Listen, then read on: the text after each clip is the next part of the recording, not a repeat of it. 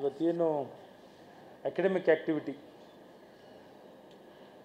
ಶೈಕ್ಷಣಿಕ ಚಟುವಟಿಕೆಗಳು ಈಗಾಗಲೇ ಮುಂದಿನ ಎರಡು ವರ್ಷದ ಚಟುವಟಿಕೆಗಳು ಕ್ಯಾಲೆಂಡರ್ ಆಫ್ ಈವೆಂಟ್ಸ್ ಏನಿರಬೇಕು ಅಂತ ಈ ಮುಂಚೆನೇ ನಿಶ್ಚಯ ಆಗಿತ್ತು. ಈ ಪ್ರಕಾರದಲ್ಲೇ ಹೋಗುವಂಥದ್ದಾಗ್ತಿದೆ.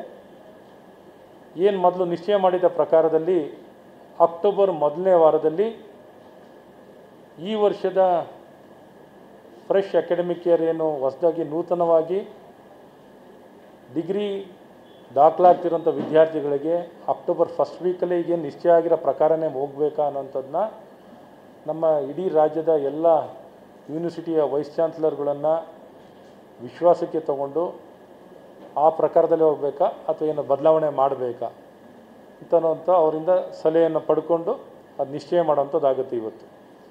ಮತ್ತು ಈಗ